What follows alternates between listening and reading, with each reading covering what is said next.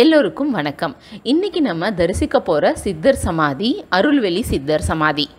சித்தர்கள் அப்படின்னாலே காட்டுக்குள்ளே தான் இருப்பாங்க. மற்றவங்களோட தொல்லை இல்லாமல் இருக்கணுன்றதுக்காக தியானம் பண்ணணும்னு இருப்பாங்கன்னு நினைப்போம். ஆனால் ஒரு சில சித்தர்கள் மக்களோட மக்களாக வாழ்ந்து நிறைய அற்புதங்களை பண்ணியிருக்காரு. அந்த அற்புதங்களை பண்ணின ஒரு சித்தர் தான் அருள்வெளி சித்தர். சென்னையில் சமீபத்தில் இருந்த ஒரு சித்த புருஷர் நாற்பது வருஷமாக பாரிமுனையில் இருந்தார். மல்லிகேஸ்வரர் ஆலயத்துக்கு போகிற வழியில் ஹைகோர்ட்டுக்கு எதிர்த்தாப்படி மண்ணடியில் லிங்கச்செட்டி தெருவு தெருவுக்கு நடுவில் அந்த சித்த புருஷர் வாழ்ந்துட்டு வந்தார். ஆச்சரியத்தோட பொக்கிஷமாக இந்த மகான் இருந்தார். சென்னை துறைமுகத்தில் மூட்டை தூக்குற வேலை பார்த்ததா சில குறிப்புகள் இருக்குது இவரோட ரிஷி மூலம்லாம் தெரியாதுங்க. சுதந்திரத்துக்கு முன்னாடி தன்னோட வேலையை உதறிட்டு பாரிஸில் சுற்றி திரிஞ்சிட்டு இருந்தாருங்க ஜடாமுடியோடு இருந்த இவரை எல்லாரும் பைத்தியம்னு தான் நினச்சாங்க. மல்லிகேஸ்வரர் காளிகாம்பாள் கந்தக்கோட்டம் கச்சபரேஸ்வரர் கச்சபேஸ்வரர் ஆலயம் அந்த பகுதியில் தான் சுற்றி திரிவார். யாராவது உணவு கொடுத்தாங்கன்னா விருப்பப்பட்டால் வாங்கி சாப்பிடுவார் இல்லாட்டி சாப்பிட மாட்டாருங்க. ஒரு கட்டத்தில் பார்த்தீங்கன்னா லிங்கச்செட்டு தெருவுக்குள்ளே மட்டும் சுற்றி திரிந்துட்டு அங்கே வந்து அற்புதங்களை நடத்திட்டு இருந்தார். இரும்பு அடிக்கிற சத்தம் கேட்டாலும் அவரோட தியானத்துக்கு அது ஒரு நாளும் இடைஞ்சலாக இருந்ததே கிடையாதுங்க. ஒரு பெரிய மூட்டையை இடுப்பில் கட்டி இழுத்துட்டே திரியிறத அவர் வழக்கமாக வச்சிட்டு இருந்தார். வானத்தை பார்த்து ஏதோ புரியாத பாஷையில் பேசுவாருங்க. அவரை விண் விண்வெளியில் இருக்க தேவதைகளோட சங்கேத வார்த்தைகளில் பேசிகிட்டு இருப்பாராம். வானத்தையே வெறித்து பார்ப்பாராம் சூரியனை வச்சக்கண்ணு வாங்காமல் சில சமயம் மூணு நாலு மணி நேரம் கூட பார்த்து சூரிய பகவானை நமஸ்காரம் பண்ணிட்டு இருப்பாராம் இந்த சித்த புருஷர்களுக்கு எல்லா சக்திகளும் கைகூடியது இவங்களோட தவத்தினால தாங்க. யாராவது சாப்பாடு வாங்கி கொடுத்தா சுற்றி இருக்கிறவங்களுக்கு பகிர்ந்து கொடுத்துருவாராங்க. தேவையில்லைன்னா. அவரை ரொம்ப நாள் கழித்து தான் அங்கே இருக்க மக்கள் சித்தர்னு அடையாளம் கண்டு வணங்க தொடங்கியிருக்காங்க. இவர் யாரையும் தன்னோட காலில் விழறதுக்கு அனுமதிக்கவே மாட்டாருங்க. ஒரு எலுமிச்சம் கொடுக்கறது பழம் கொடுக்கறது திருநீர் கொடுக்கறது அது எதுவுமே பண்ண மாட்டார். கருணை மிகுந்த பார்வையால் கர்மங்களை போக்கிடுவார். இந்த தகவல் பரவ பரவ நிறைய பேர் ஏழையிலிருந்து பணக்காரர்கள் வரைக்கும் அரசு உயர் அதிகாரிகள் வரைக்கும் இங்கே இந்த குறுகலான சந்தில் வந்து இவரை தரிசிக்க ஆரம்பித்தாங்க இவரை பார்த்த மாத்திரத்திலேயே நம்மளுக்கு மனசில் அமைதி கிடைக்குங்க. யாராவது பணம் கொடுத்தா அதை தன்னை தேடி வர்றவங்களுக்கு அன்னைக்கே பிரித்து கொடுத்துருவாராம். தனக்குன்னு எதையும் தைக்க வச்சிருக்கவே மாட்டாராங்க.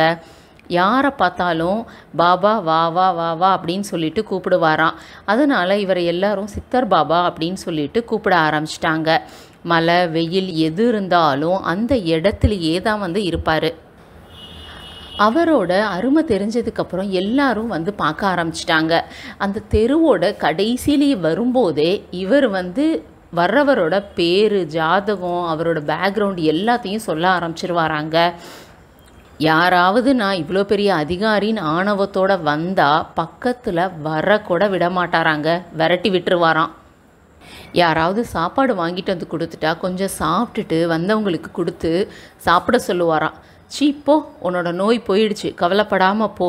உன்னோட கர்மா போயிடுச்சு. போ அப்படின்னு சொல்லிட்டு தன்னோட பக்தர்களுக்காக அவங்களோட கஷ்டத்தை தான் வந்து விரட்டி அடிப்பாராம். திடீர்னு பார்த்தா பேப்பரை கிழிச்சு கிழிச்சு போடுவாராம் தன்னோட பக்தர்களுக்கு முன்னாடி. அதுக்கப்புறம் அதெல்லாம் ஒன்று சேர்த்து எரித்து உன்னோட கர்மாலாம் எரிஞ்சு போச்சுடா. கிளம்பி போடா அப்படின்னு சொல்லிட்டு சொல்லுவாராம். காகபுஜண்டரோட நாடியில் அருள்வெளி பாபா சி- சித்தர் பாபா பற்றி குறிப்புகள் இருக்குதுங்க.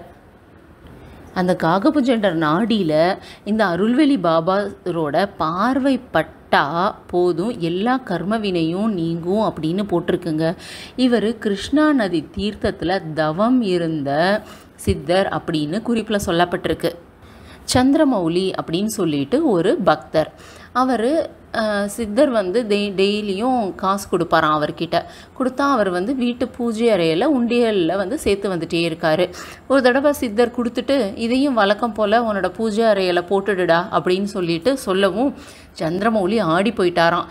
சித்தருக்கு நம்ம செய்கிற எல்லாமே தெரியுது அப்படின்றது அவருக்கு அப்போ தான் புரிஞ்சிருக்கு. ஒரு நாள் குழந்தைங்க குறும்பு பண்ணும்போது அடி போட்டிருக்காரு சந்திரமௌலி. மறுநாள் சித்தரை பார்க்க போகும்போது அவங்கெல்லாம் குழந்தைங்கடா குழந்தைங்களை இப்படி அடிப்பியா நீ? அப்படின்னு சொல்லிட்டு சத்தம் போட்டிருக்காரு. அப்போ அவருக்கு புரிஞ்சதா நம்ம என்ன செஞ்சாலும் சுவாமிக்கு தெரிஞ்சிரும் அதனால் எதுவும் தப்பு பண்ணக்கூடாது அப்படின்னு சொல்லிட்டு அவருக்கு புரிஞ்சிருக்கு. நந்தன பகுதியை சேர்ந்த ஒருத்தர் புறவிப்பாளையம் கோடிசுவாமிகளோட தீவிர பக்தராக இருந்தார் அருள்வெளி சித்தர் பாபாவை பார்த்துட்டு மாடியில் இருக்கிற கோடிசாமி மாதிரியே இருக்கிறாரே அப்படின்னு மனசுக்குள்ளே நினச்சாராம். உடனே அந்த சித்தர் ஆமாண்டா மாடியில் இருக்கவனும் நானும் ஒன்று தான் போடா அப்படின்னு சொல்லிட்டு சொன்னாராம் அந்த பக்தர்கிட்ட. அதுக்கப்புறம் அந்த பக்தர் இவருக்கும் தீவிர பக்தராக இருக்காரு உலக நடப்புகளை எப்பையும் சிலேடை மொழியில் சொல்லிகிட்டே இருப்பார். அவர் சொல்கிறதெல்லாம் நூறு சதவீதம் சரியாக இருந்ததுங்க. ஒரு தடவை தெருவோரத்தில் உட்காந்துட்டு இருந்தாராம் நிறைய பேர் அவரை சுற்றி உட்காந்துட்டு இருந்தாராம். அப்போ காற்றுல எங்கேயோ இருந்து ஒரு நாளிதழோட கிழிந்த பக்கம் வந்து அவர் மேலே ஒட்டிக்குது. அதில் பார்த்தீங்கன்னா தமிழ்நாட்டோட ரொம்ப பிரபலமான மக்கள் மனசில் நீங்கா இடம்பெற்ற ஒருத்தரோட படம் இருந்ததுங்க. அதை சுத் உத்து பார்த்துட்டு பெருமூச்சு விட்டபடி முடிஞ்சு போக போகுதுடா உன்னோட கதை அப்படின்னு சொல்லிட்டு சொல்கிறாராம் இவங்க சுற்றி இருக்கவங்களுக்கெல்லாம் ஒன்றுமே புரியல. என்னடா இப்படி சொல்கிறாருன்னு சொல்லிட்டு பார்த்தா அன்னைக்கு இரவே அவரோட உடல்நலம் மிகவும் மோசமாகி மரணம் அடைஞ்சிடுறாரு.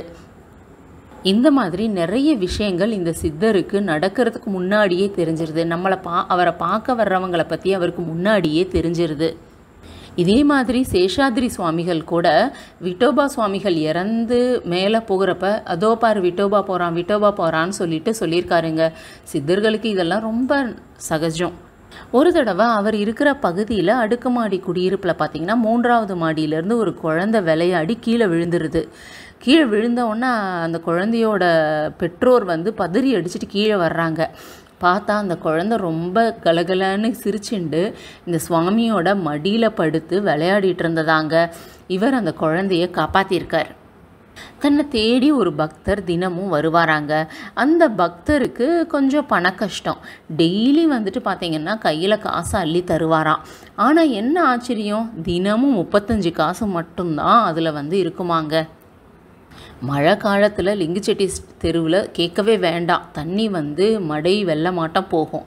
ஆனால் அவரை சுற்றி மட்டும் மழையே பெய்யாதாங்க. ஒரு நாள் கூட குளித்தது கிடையாது. ஆனால் அவர்கிட்ட எந்த வித துர்நாற்றமும் இருக்காதாங்க. அவரை சுற்றி மழை தண்ணி தேங்கவும் தேங்காதாங்க. இப்படி பல அற்புதங்களை செஞ்ச சித்தர் ஆயிரத்தி தொள்ளாயிரத்தி எண்பத்தெட்டாம் ஆண்டு ஜனவரி மாதம் தான் சித்தி அடைய போவதை பல வகையில் வெளிப்படுத்தியிருக்காரு. கடைசி ஒரு மாதமாக டீ குடிக்கிறத கூட நிறுத்திட்டு வெந்நீர் மட்டும் குடிச்சிருக்காருங்க. திருவொற்றியூரை சேர்ந்த நாகராஜன் அப்படின்றவர் சித்தரை கவனிச்சிட்டு இருந்திருக்காரு ஆயிரத்தி தொள்ளாயிரத்தி எண்பத்தெட்டாம் ஆண்டு தை மாதம் அவர்கிட்ட நிறைய தகவல்களை பரிபாஷையாக சொல்லியிருக்காரு. அடிக்கடி மேகநீர் பனைமரத்து மேடு ஸ்ரீபெரும்புதூர் வடமங்கலம் கூட்டுரோடுன்னு சொல்லிக்கிட்டே இருந்தாராம். அது யாருக்குமே ஏன் இப்படி சித்தர் சொல்கிறாருன்னு புரியலை. ஒரு நாள் திடீர்னு நாகராஜன் கிட்ட முடி திருத்துபவரை அழைச்சிட்டு வா அப்படின்னு சொல்லியிருக்காரு. சித்தர் அடிச்சிருவாருன்னு யாருமே வரலையாம் உடனே சித்தர் யோசிச்சுட்டு ஒரு கோவில் பேரை சொல்லி அதுக்கு பக்கத்தில் இருக்க முடி திருத்துறவனை அழைச்சிட்டு வா அப்படின்னு சொல்லிட்டு சொன்னாராம். அவரும் வந்து தலைமுடி தாடி மீசை எல்லாத்தையும் மழிச்சிட்டாராம். பார்த்தா பெரிய மூட்டைக்குள்ளே போட்டு தீ வச்சு எரிச்சிட்டாராம். தீ வச்சு எரிச்சிட்டு அப்பாடா வந்த வேலை முடிஞ்சது அப்படின்னு சொன்னாராம். அப்போ கூட சித்தர் ஏன் இப்படி நடந்துக்கிறாருன்னு யாருக்குமே புரியலை. தலை மொட்டை தலையில் பார்த்தா அவங்களுக்கெல்லாம் மகாத்மா காந்தி சாயல் வந்து தெரிஞ்சதாங்க. இந்த பரி ப- பூர ப இவர் பரிபூர்ணம் அடைகிறதுக்கு ஒரு பத் பதினஞ்சு பதினாறு நாளைக்கு முன்னாடி இன்னும் நானூறு மணி நேரம் தான் இருக்குது என் வந்த வேலை முடிகிறதுக்கு அப்படின்னு சொல்லிட்டு சொல்லியிருக்காரு. ஒரு நாள் தன்னோட நெருங்கிய பக்தர் ஒருத்தர்கிட்ட பன்னீர்தாஸுக்கு ஃபோன் போடுங்கடா அப்படின்னு சொன்னாராம். அந்த அர்த்தமும் பக்தர்களுக்கு புரியலை. பிப்ரவரி மாதம் இறுதியில் அவங்கள பார்க்க வந்தவங்க கிட்ட எல்லாம் மாசி முப்பது வாடா மாசி முப்பது வாடான்னு சொல்லி சொல்லி அனுப்பியிருக்காரு. மாசி முப்பது அதாவது பதிமூணு மூணு ஆயிரத்தி தொள்ளாயிரத்தி எண்பத்தி எட்டு அன்னைக்கு பூராட நட்சத்திரத்தில் அருள்வெளி சித்தர் சுவாமிகள் தன்னோட மூச்சை துறந்து சித்தியானாருங்க. அவரது உடலை வந்து ஆழ்வார்பேட்டையை சேர்ந்த சந்தானம் என்றவர் எடுத்து போய் அவரோட வீட்டில் ஜீவசமாதி வைக்க முயற்சி பண்ணியிருக்காரு. ஆனால் அந்த தெருவில் இருக்கிறவங்க எல்லாம் கடும் எதிர்ப்பு தெரிவிச்சிருக்காங்க. அதனால அது நடக்கலை. இந்த நிலையில் சந்திரமௌலி அவங்க எல்லாம் இருக்காங்களே அவரோட பக்தர்கள் நிறைய பேர் சித்தருக்கு எங்கே ஜீவசமாதி வைக்கலாம் அப்படின்னு சொல்லிட்டு ஆலோசனை பண்ணியிருக்காங்க. நிறைய அரசியலில் அதுக்கப்புறம் வந்து உயர் அதிகாரிகள்லாம் இவருக்கு பக்தர்களாக இருந்ததுனால அதில் ஒரு காவல்துறையில் இருக்கிறவர் தேவையான உதவிகளை செய்கிறதுக்கு முன் வந்திருக்காரு. அப்போ பார்த்தீங்கன்னா விஜிபி சகோதரர்களோட குழுமம் சென்னை புறநகர் பகுதியில் நிறைய நிலங்களை வச்சுருந்தாங்க. அவங்கக்கிட்ட ஏதாவது ஒரு சிறு நிலம் கொடுங்க அப்படின்னு கோரிக்கை விட்டாங்க. அப்போ பார்த்தீங்கன்னா ஸ்ரீபெரும்புதூர் அடி அருகே வடமங்கலம் பகுதியில் தங்களுக்கு ஒரு நிலம் இருக்கிறதாகவும் ஒரு குறிப்பிட்ட பகுதி மட்டும் கோயிலுக்கு தான் போகணும்னு சொல்லிட்டு அந்த நிலத்தை விற்றவர் சொல்லி எழுதி வச்சிருக்காரு அப்படின்னும் அந்த இடத்த சித்தரோட ஜீவசமாதிக்கு கொடுக்கறதாகவும் கொடுத்துருக்காங்கங்க. அந்த இடத்துல தான் இன்றைக்கி அருள்வெளி சித்தர் பாபாவோட ஜீவசமாதி இருக்குது அதை தான் நீங்கள் இன்னொரு வீடியோவில் தரிசனம் பண்ணுறீங்க இதை தான் அவர் வந்து ஜீவசமாதி அடையிறதுக்கு முன்னாடி பரிபாஷையில் சொல்லிகிட்டே இருந்திருக்காரு. இந்த இடத்துல தான் தன்னோட ஜீவசமாதி அடைய போகுது அப்- அடை அடை வரப்போகுது அப்படின்னு சொல்லிட்டு.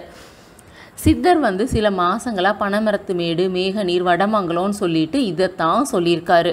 அப்புறமா தான் இந்த பக்தர்களுக்கெல்லாம் புரிஞ்சு மெய் செலுத்திருக்காங்க லிங்கச்சேட்டி தெருவில் அவர் அமர்ந்து அமர்ந்திருந்த இடத்துல வந்து ஒரு சிறு ஆலயம் அமைக்கப்பட்டுள்ளதுங்க. தினமும் அங்கே பூஜை நடக்கிறது அன்னதானம் நடக்குது அமாவாசை பௌர்ணமி நாட்களில் சிறப்பு ஆராதனைகள் நடக்கிறது. தெருவோரத்தில் சின்ன இடமா இருந்தாலும் ரொம்ப அழகான சிலையை செஞ்சு வச்சுருக்காங்க அருள்வெளி சித்தர் பாபாவோடது.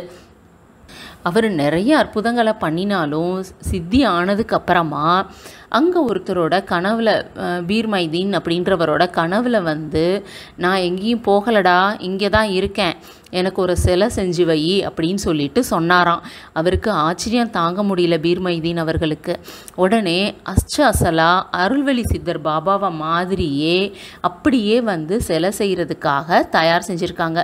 பஞ்சலோக செய் சிலை செய்கிறதுக்கு முன்னாடி மண்ணால் ஒரு சிலை செஞ்சு பார்க்கலாம் அப்படின்னு சொல்லிட்டு செஞ்சுருக்காங்க. அந்த சிலை செய்யும்போது பார்த்தீங்கன்னா அந்த வயிற்று பகுதியில் மண் வைக்கும்போது அந்த மண் போய்க்கிட்டே இருந்ததாம். கிட்டத்தட்ட பத்து கிலோ மண் வச்சு கூட அந்த வயிறு வந்து ஷேப்புக்கு வரலையா அப்படியே உள்ளே வாங்கிக்கிட்டே இருந்ததாங்க. அதை பண்ணுற சிற்பி ஒரு கட்டத்தில் பயந்தே போயிட்டாராங்க. மார்பு பகுதியிலையும் வந்து பார்த்தீங்கன்னா களிமண் உள்ளே போய்க்கிட்டே இருந்ததாம். அந்த அளவுக்கு மண் உள்ளே போய் ஆச்சரியத்தை கொடுத்துருக்கு. இப்போ அந்த ஆலயம் இருக்கிற பகுதியில் பார்த்தீங்கன்னா அடியில் நீர் ஊற்று ஒன்று கண்டுபிடிச்சிருக்காங்கங்க. அதிலிருந்து தினமும் நீர் எடுத்து சித்தரோட சிலைக்கு அபிஷேகம் செய்யப்படுதுங்க. லிங்குச்செட்டி லிங்குச்செட்டி தெருவில் அவரோட சிலையை தரிசனம் பண்ணலாம். ஸ்ரீபெரும்புதூர் போனால் ராமானுஜர் நகர் வடமங்கலமில் அவரோட ஜீவ சமாதியை தரிசனம் பண்ணலாம். நம்ம வீடியோவில் அதை தான் நம்ம உங்களுக்காக காட்டியிருக்கோங்க. எல்லோரும் இந்த சித்தரை தரிசனம் பண்ணி நம்மளோட கர்ம வினையை போக்கிக்கணும்னு வேண்டி கேட்டுக்கொள்கிறேன். நன்றி வணக்கம். மறக்காமல் அண்ணாமலை அடிமை சேனலை சப்ஸ்கிரைப் பண்ணுங்கள் லைக் பண்ணுங்கள் ஷேர் பண்ணுங்கள்